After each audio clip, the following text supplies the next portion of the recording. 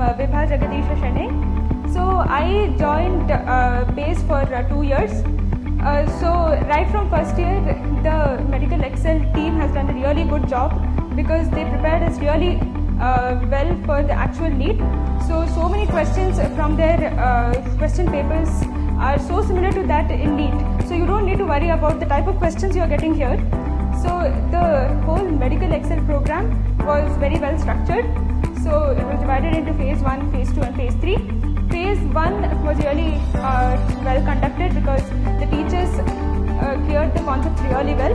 Phase 2 was uh, uh, probably a more rigorous type of uh, training. Uh, probably that was the hardest part of the whole training but the teachers made it really easy. They were already, like they were always available for doubt clarification and phase 3